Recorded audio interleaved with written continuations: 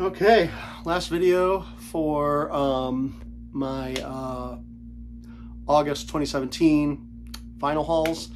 There will be a Spotify playlist that I'll link, uh, and uh, it was recommended to me that I split up my videos a little bit because of the length. you know, some of them, of my videos were like an hour, hour and a half long. So I'm gonna split them up via genre, and uh, this is the metal video. These are all the metal records that I bought in August of 2017. The first metal record, technically isn't a metal record, but it came out approximately 1974.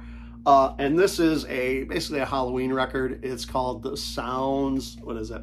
Blood Curdling Terror, Horror, or, or I'm sorry, Blood Curdling, Terror, Horror, Stereo, Sounds to Make You Shiver. Uh, listen in terror to Count Dracula screaming along with his victim. Go mad in the haunted house. Hear Frankenstein break loose. Horrific sounds for Halloween fun. This is a Pickwick record. Has Frankenstein storming out of the castle here uh, with a bunch of other monsters.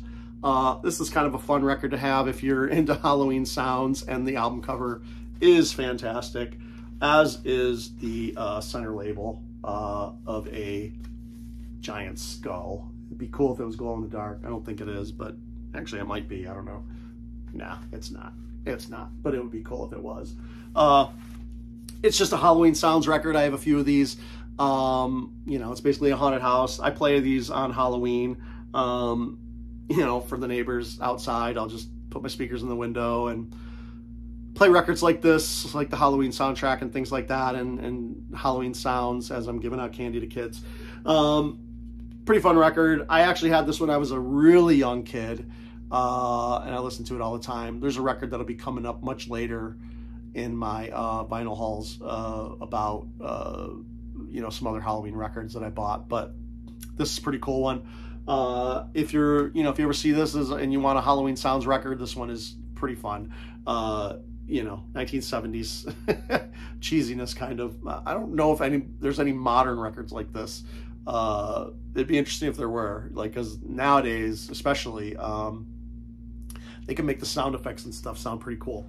Uh, but yeah, they sound really good on here. You know, I can just imagine, you know, in the studio, you know, them using all kinds of tricks, uh, you know, to make all these sounds uh, happen. Because uh, they're obviously not in a haunted castle, and Frankenstein's really not running around. So they're kind of creating all these sounds using probably old, you know, recording tricks from the old radio days and stuff like that when they used to do mystery shows or whatever. Anyway, pretty cool record. Throwing this in the metal section because it's metal. All right, the next record I bought came out September 14th, 1984, and this is a classic uh, from the band. Uh, this is uh, Dokken, Tooth and Nail. This is probably one of their best records. Uh, Back for the Attack is probably my favorite, but this is really, really close second, probably. Um, without warning, tooth and nail. Just got lucky uh, when heaven comes down into the fire. Turn on the action. All great, great songs. Uh, look at these guys; they look fantastic. Uh, yeah, this record was really, really good. Uh, it it's an early record, 1984. So this is kind of right after Quiet Riot hit and the glam metal scene, uh, or at that point it would just be like the heavy metal uh, scene, you know, started kicking in, but what we now call, call kind of hair metal uh, as a term. Even though it's not the best term, it is a term. Uh, I prefer to call it glam metal, you know, and my reason for that, I'll just explain that a little bit. Back in the 70s, you know, we had glam rock, right? You know, David Bowie, Slade, you know, a bunch of bands like that that kind of self-identified even as glam, you know, glam or glitter rock. Um, and it was not only the music, you know, it was heavier, you know, music was getting heavier and stuff, and it still had a poppy edge, you know, uh, but it was also the look, you know, I mean, like a lot of those artists were putting on makeup, wearing outfits, you know, fashion, fashion was part of the music in a way, you know, especially with Bowie, you know, uh, you know, he was kind of the epitome of it. And kind of the same with, with glam metal and i just say metal because you know it definitely has a more heavy metal feel to it you know the guitars are faster the the music is more uh, you know heavier uh, but it still has that pop popness to it. You know, it still has those sugar choruses. You know, sing along choruses and stuff like that. You know, so there is definitely a pop. Uh, that's why I think a lot of people call this pop metal. You know, in some cases, but I wouldn't go that far because I don't think it's poppy enough to be pop metal. You know, it's not no Babymetal or anything like that where that to me is like almost pure pop metal. That that's or poppy even, you know, like the band Poppy, you know, that that you know kind of really really blur, you know, put it put in a lot of heavy metal into the pop music. Where in this case, they're kind of adding a little bit of pop into their heavy metal, uh, you know. But anyway, I, I prefer to call it glam metal because it, it's glammy and it has that feel to me, but it's just with the heavy metal uh, flavor to it. Um, yeah, Dokken fits that I think perfectly. Uh, and this is a fantastic album uh, from Dokken. Uh, another album I bought, uh, October 9th, came out October 9th, 1984. Uh, yeah, so I haven't seen this record in the bin at used probably since. And this is Armored Saint, uh, March of the Saint. This is their first album. This album cover is fantastic, by the way. I fucking love it. It's so cheesy. I love album covers like this that are just like, you know, when you're a teenager or maybe early 20s, these guys probably thought this was fucking badass. And, you know, looking at it now, we're just like, that's kind of cheesy. But Armored Saint, it totally fit. You know, it's like they, they were on theme, 100%. Uh, and then, of course, on the back, you know, instead of being on horses, they're on their motorbikes, you know, their, their motorcycles. Um, this is a great record as well. Uh, all the Armored Saint records are, and I, I sometimes I use this term not in the best way, not, not really the best way, but not in a you know, most loving way. But in this case, I am. Uh, they are very, very consistent. They are a very consistent band, heavy metal band, LA band. Um, and yeah, they're fantastic. Like every record sounds similar to the one previous, but you can see they're just growing as musicians, you know, and, and as songwriters. Uh, they just keep getting better and better and better, uh, in my opinion. And yeah, I have quite a few of their early stuff uh, probably the first four or five records, and they're all really, really good. And I highly recommend all of them. I don't, I wouldn't, uh, you know, pass any of them up uh, if you see them in the bin somewhere, especially used. But some of the new ones, all these have been reissued actually by Metal Blade.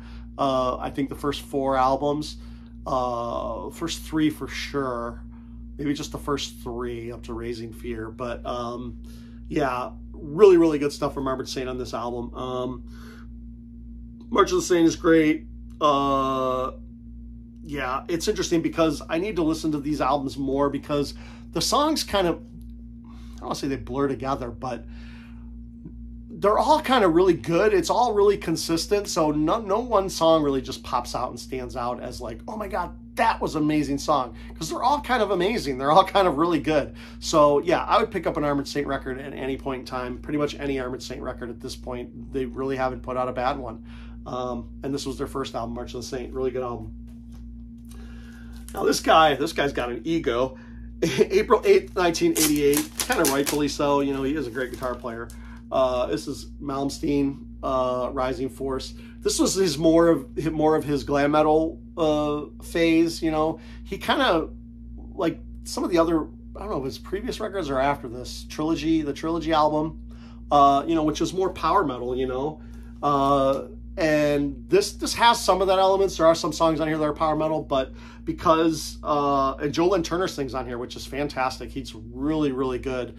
Uh, used to sing for Rainbow uh, and Deep Purple. Did he sing for Rainbow? Maybe he just sang for Deep Purple. I can't remember now. All of a sudden, uh, Polydor. This came out on. Yeah, Yngwie Malmsteen's Rising Force. This is definitely more of his uh, glam metal stuff, though. Uh, especially the song uh, "Heaven Tonight." Is it?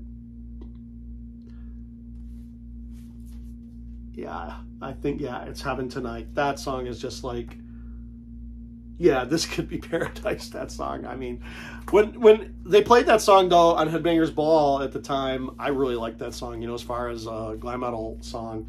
It's really good, but it's really poppy.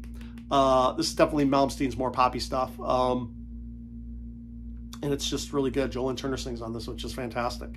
Uh, really enjoy that. Uh, Yngwie, yep, not much else to say. Really good. Produced by Mike Barbaro. Or mixed by Mark Bar Bar Barbario. Yeah, anyway, good record. If you see it, I would pick it up. This next record is, oh, it's probably, it's probably top five best thrash metal records ever made. June 27th, 1988, Vio-lence put out Eternal Nightmare replica cover. Uh, yeah. Fantastic album. This is one of the best thrash metal records ever made. Sean Killian's vocals are so unique and so, you know, like I said, I like that high vocal stuff uh, in the past. I just love this album. The thrash riffs on here are fantastic. The lyrics are funny, gross, you know, uh, hilarious, uh, you know, really good stuff. Uh, Eternal Nightmare, the beginning of that song is my ringtone for my phone. It has been for so many years. Uh, I just love that that riff. Um, this is a five out of five album for thrash metal. Um, and I know this record is going really expensive right now. This is not an original press, but uh, even this repress. My repress is weird too. Like my side three and four have, or no, it's side one and two. No, it is side three and four. Has uh, A side labels on both sides. or B side labels. I can't remember which. Um, yeah. D side labels. Yeah. So I have two side D's. so I put a little sticker on here that shows that that is side C. Um, so that my pressing is a little unique from that. Uh, this album did not need to be on two records. Maybe the extra stuff could have been thrown on on record two, but they I think they should have just put the whole album on one whole the whole uh, studio album up until up up to Kill on Command on side A and B. Um, but anyway, doesn't matter, I guess. You know, it's just you got to get to that third album to listen to Kill on Command, which is one of my favorite songs. I love that song. I think it's hilarious. Stand still and make my job easier. Yeah. So great thrash metal album, Vio-lence, everybody on here, Sean Killian, uh, Robb Flynn though especially, uh, went on to do Machine Head, became obviously much more, um, I guess, successful. Uh, Vio-lence's second record, uh, I forget the name of it right now. Um, I can't remember. Uh, had Officer Nice on it. That album was not as good. It was a major label album I don't know if that had anything to do with it, but it just wasn't as good. I would still get that record in a heartbeat though if, if it came out on vinyl. I don't think it's ever released on vinyl, at least not in the US for sure. Um, five out of five. Nothing else to say. Fantastic record. Great art, cover art. The, the sound on the album is great. And yeah, the recording, the guitar tone, fantastic. Uh, Eternal Nightmare, really good album. All right, uh, this next record came out April 4th, 1989, and it's an album, uh, Saraya. It's the self-titled. Uh, this album is really good. Uh, lead singer uh, Sandi Saraya is on this, of course, female vocals. Uh, I really enjoy that uh, part of this record, uh, and the songs are just really, really, really good on this album. This is this is just a really good uh, glam metal record. Um, you know, it's kind of Pat Benatar-ish, you know, in a way. There's a lot of really good songs on here. There's there's just some really good songs on here. Love is Taking Its Toll is great. Healing Touch is great. Get You Ready. Gypsy Child is really good. One Night Away.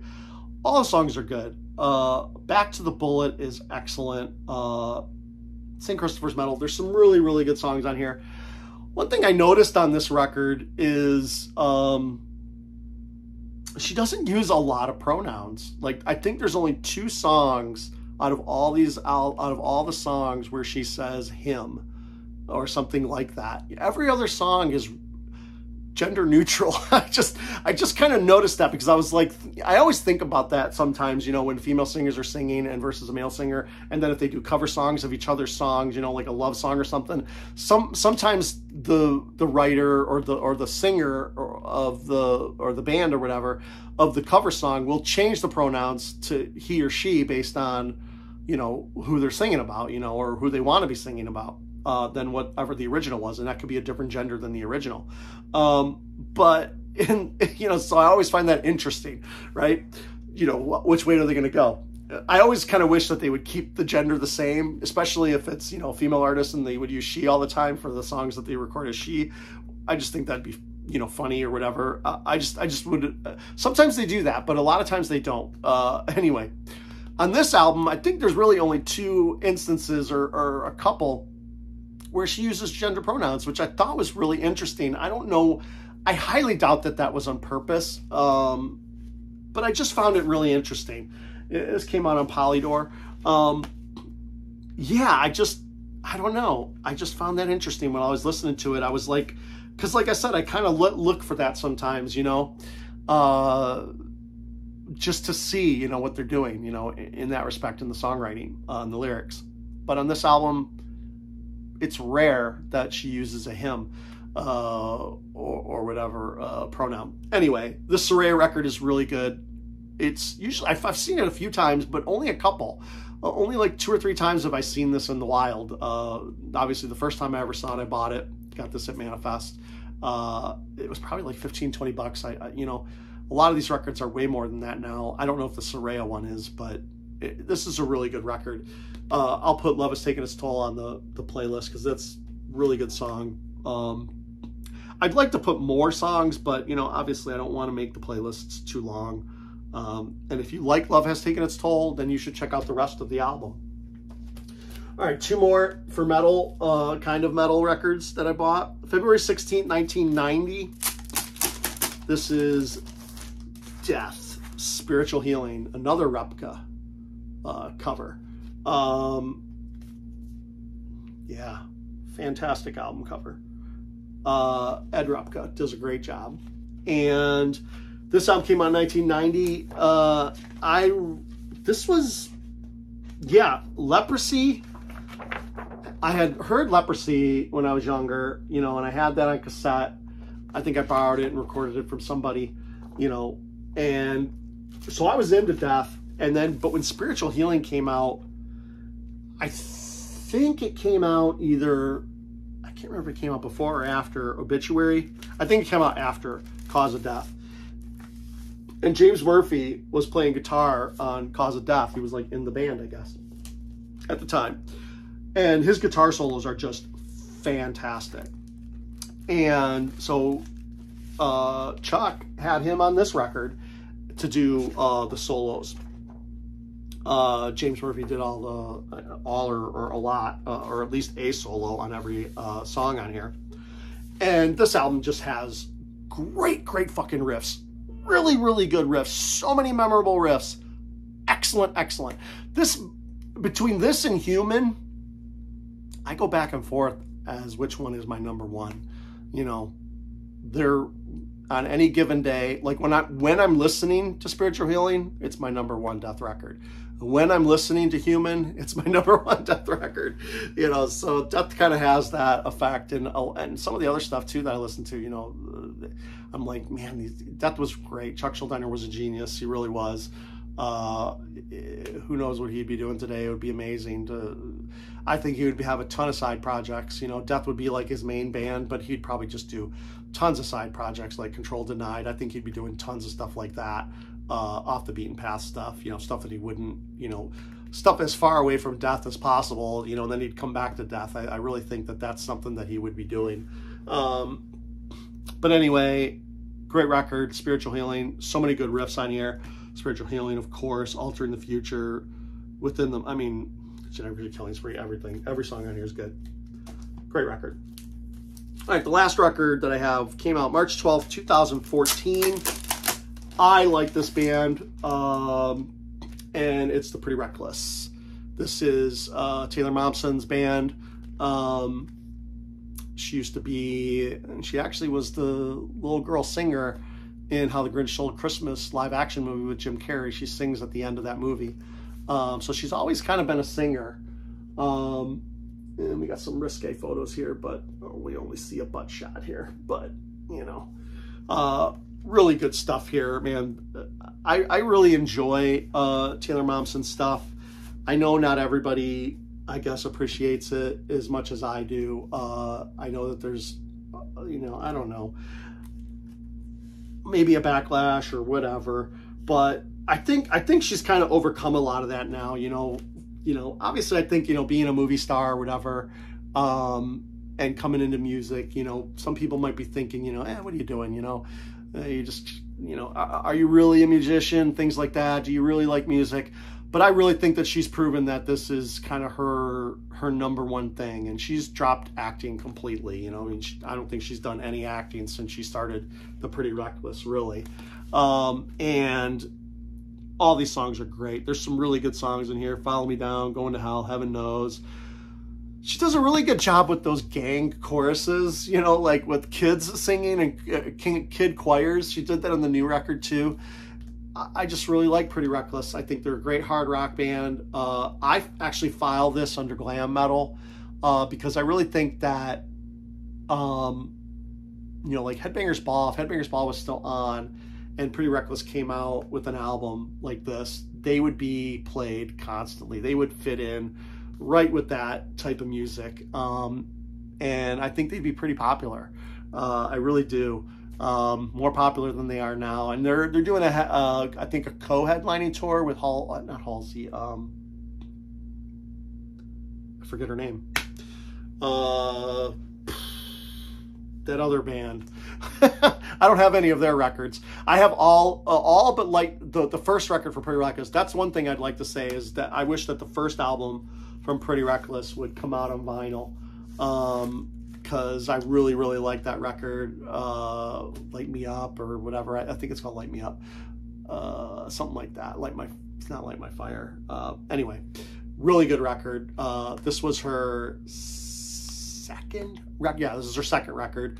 Uh, Going to Hell, and their third record was Pretty Something, and then uh, the new one, um, Death by Rock and Roll. All fantastic records. I really like Pretty Reckless. I really like Taylor Momsen's voice. Uh, I think her stage presence has improved. Uh, you know, she was really stiff there in the beginning, uh, but I think she's gotten a lot better. Um, yeah, I think it's a great album. Pretty reckless. I would, I listened to this. I listened to the the new record, Death Death by Rock and Roll was in my top ten of 2021, I think, or 20 yeah 2021. Um, and I really really love that record. I think it's really really good. All right, that's all the uh, metal uh, records that I have, and I do put Pretty Reckless. Like I said, I, I file it under glam because I think it, it really fits that. It's it's more hard rock, alternative hard rock, but you know I think it. I really think it's like it's one of those. I can't categorize it, you know, perfectly. You know what I mean? Like in my collection, I guess it could be just hard rock, uh, but but I really just think it has a little bit more than that. Uh, it's a little bit heavier than just regular hard rock, and it really has that uh, glam feel to it. I think. Um, you know, there's different genres of glam metal as well. You know, there's like the sleazy stuff, the more po- polished stuff, the prolific guitar players, things like that. This just kind of falls into almost like a I don't know. I think they could tour with Guns N' Roses really easily. You know, like they could really be part of that, almost like a mix between the sleaze and the you know just the good hard heavy metal, hard rock um, stuff. So I think it just fits right in there. All right, that's all for the records August uh, 2017. And like I said, I'll make a playlist. Uh, appreciate you watching and listening. Thanks. Bye.